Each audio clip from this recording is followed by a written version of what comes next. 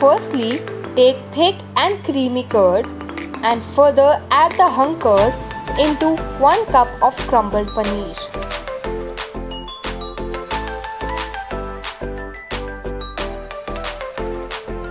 Also add breadcrumbs to remove excess moisture. You can also replace this with one boiled and mashed potato.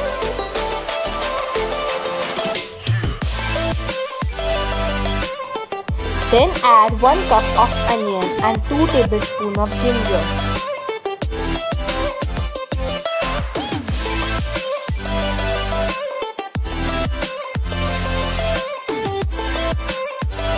After this, add some chopped green chili.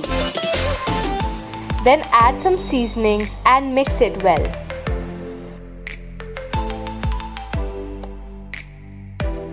Grease both the hand with oil and prepare a ball-sized patty.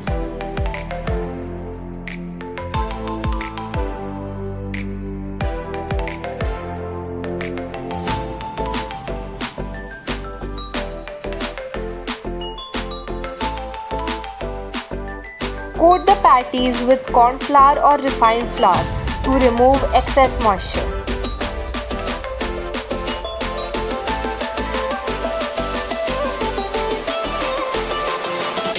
Now deep fry the patties in hot oil and fry it till it turns golden brown. Your kebabs are ready. Enjoy!